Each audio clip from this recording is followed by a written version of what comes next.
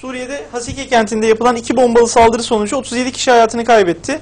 Haseke'de Nevruz Bayramı'nı kutlayan halka aynı mahallenin iki ayrı yerinde bombalı araçlarla intihar saldırısı gerçekleştirildiği bildirildi. İşte sevgisizlik olunca, merhametsizlik olunca, Mehdi zuhur etmediğinde, İsa Mesih zahir olmadığında Allah dünyaya rahatlık vermiyor. İlla ki Cenab-ı Allah Mehdi çıkacak diyor.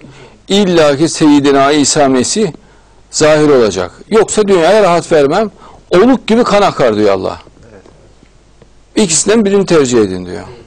Ya sel gibi kan ya Mehdi. Ya sel gibi kan ya İsa Mesih. Tercih sizin diyor Cenab-ı Allah.